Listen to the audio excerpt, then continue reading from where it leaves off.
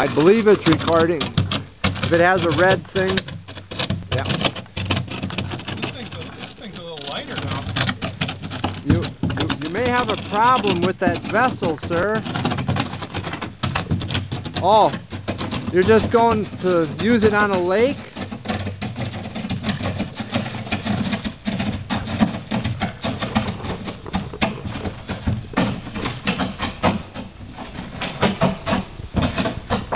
I see you can turn a lot easier with it hinged like that.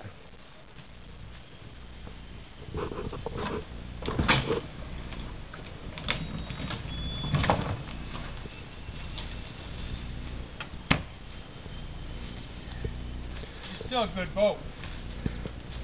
Well, just use it on a little bit more of the quiet waters. It'll be fine.